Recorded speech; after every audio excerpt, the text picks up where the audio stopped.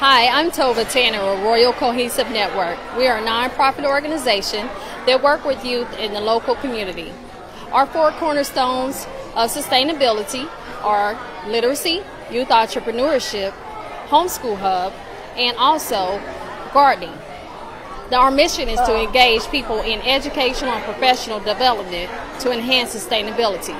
You can visit our website at www.royalnetwork.org or you can follow us on Facebook.